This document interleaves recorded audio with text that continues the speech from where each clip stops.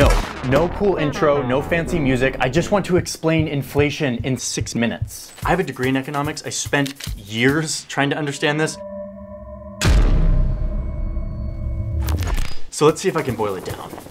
What is inflation? Why is it rising? Why are people worried? And what do interest rates have to do The with it? The Federal Reserve is raising the Fed is interest set rate. to raise interest rates. highest inflation in 40 years. Listen, I know that I make long videos. I'm into nuance, I'm into backstory. Well, this isn't that. This is quick. Quick, quick, quick. No, really, this is quick. Let's go. Wait, wait, wait, rewind. Hold on one second. Before we start the timer, I need to tell you that I was going to do an ad read in the middle of the explanation. Like I was going to stop the explanation and do an ad read, but I realized I want this to be an uninterrupted six minute explanation. So I'll even take out the YouTube ads that are on it so that it can be uninterrupted. But for now, I need to thank today's sponsor because it's literally my job. It's how I get paid. Thank you BetterHelp for supporting this video and my channel generally. BetterHelp is customized online therapy that offers video, phone, or even live chat sessions with your therapist, so you don't have to see anyone on camera if you don't want to. Therapy is a giant part of my life. Been doing it for several years now, and I believe in it. But I know that finding a therapist is hard and cumbersome, and BetterHelp is trying to change that. It's all on the internet. All you have to do is take a quiz, and they link you up with a therapist. They have a giant network of over 20,000 licensed therapists. You can be talking to someone in like 48 hours. And if your therapist isn't a good fit, you can change for free, which is a huge deal. So join the 2 million plus people who are taking charge of their mental health with BetterHelp. You can even get 10% off your first month if you go to the link in my description, betterhelp.com slash Johnny Harris. Do us both a favor and click on that link and go see if therapy can improve your life as much as it has mine. Thank you BetterHelp for supporting this video. Okay, the ad is over. Let's start the clock up again and see if I can do this explanation in six minutes. Here we go.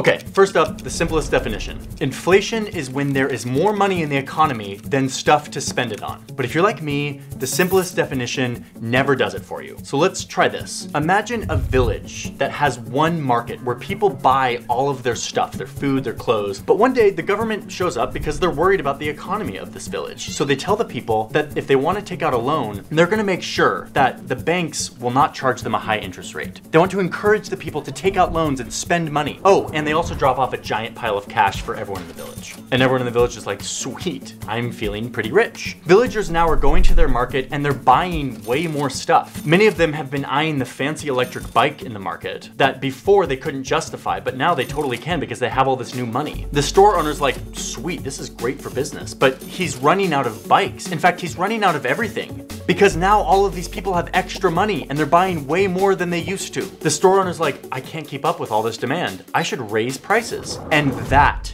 is inflation.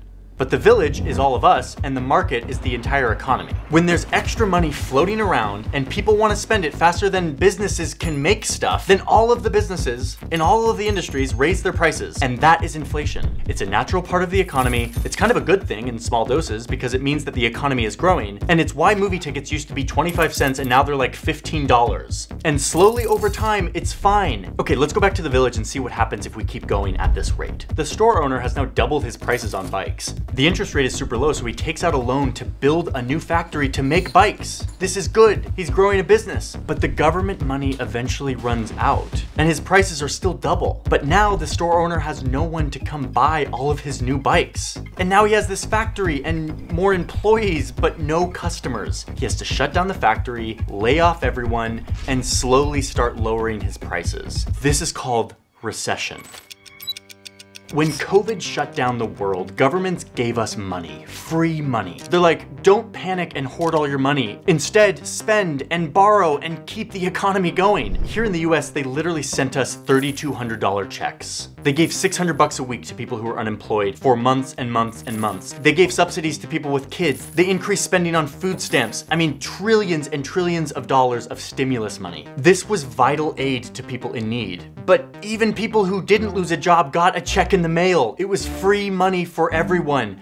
And we spent it. I just picked up myself a new bike. Demand is up across the country. It's time to grind, Peloton. We all just got these big checks from the government. During a pandemic, we're like, YOLO, I'm buying a boat or a Peloton or whatever. Pokemon cards. There's Netflix. Fortnite. A new motor. Peloton. Soak in a hot tub. Animal Crossing. Push it out a little bit so it fits. No, we'll just don't leave you it. dare! But pair all this new spending with the fact that the pandemic also made it harder for factories and ships and retailers to get us all this stuff. Supply chain issue. Global supply chain. Supply chain. Supply chain. So now you have an economy where people have way more money than normal and they're ready to spend it, but the economy can't get them stuff fast enough. So what do businesses do with all this insane new demand? They raise prices all at the same time, and that is inflation.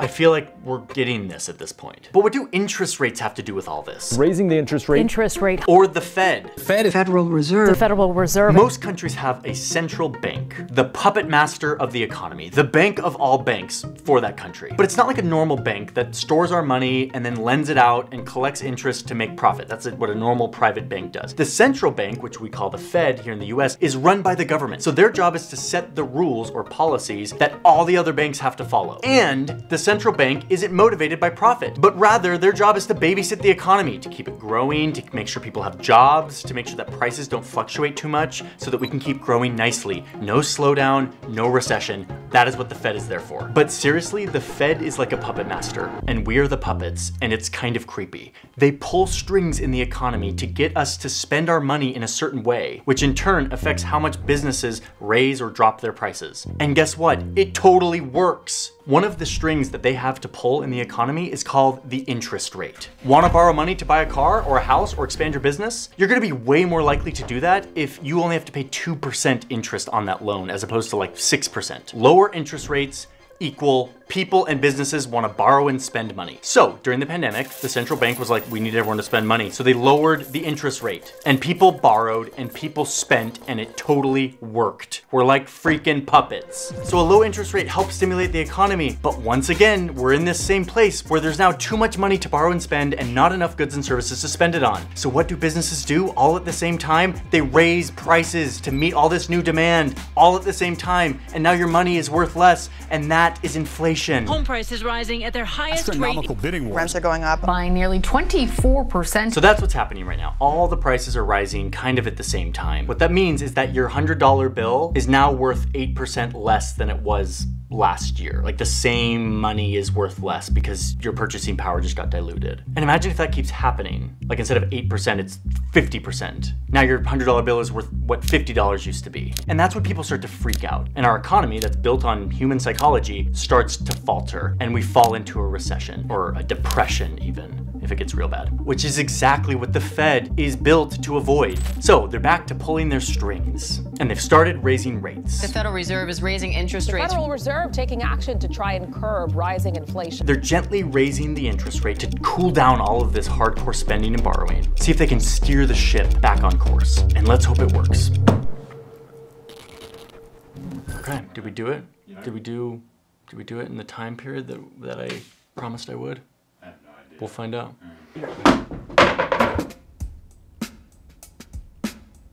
Uh, Okay, last thing I want to say is a thing that didn't make it into my little inflation explainer. But a few years ago, when I worked at Vox, I went to Venezuela and Colombia to do a Borders series. I saw inflation up close and personal because in Venezuela, inflation got so out of control and they couldn't, the Fed, the, the puppet master couldn't like figure out how to get it back in control that their money became worth nothing. The prices went up so high that their money became basically worthless. You needed like a pile of cash to buy bread. So, what they started doing is they started using the currency itself to make things. Like I, I, visited this guy on the street who was making like purses and bags and like sculptures out of cash because it was more, worth more as a raw material than it was as, as like money as a currency, which is insane. That's a very extreme version of inflation. It's happened in several countries that have done this. We're not in that situation, even close to that situation, but it's an example of just how tenuous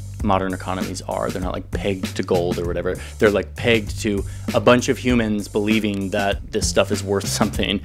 And it can quickly go off the rails. So I thought I'd share that little fun thing that is more documented in the Vox Borders episode that you can go watch on the Vox YouTube channel. So that's all I've got. Um, thank you all for being here. And I think you should check out if you want to color your videos or your photos. I have LUTs and presets that uh, you can use to color correct your stuff. I also have a storytelling course on Bright Trip where I talk about my methodology for visual storytelling with Nathaniel Drew. I think that's sort of it. All the plugs I, I should do at the end of these videos. But um, yeah, lots more to come. We're working on lots of amazing videos and I'm really excited to share them. So I'll see you in the next one. Bye everyone.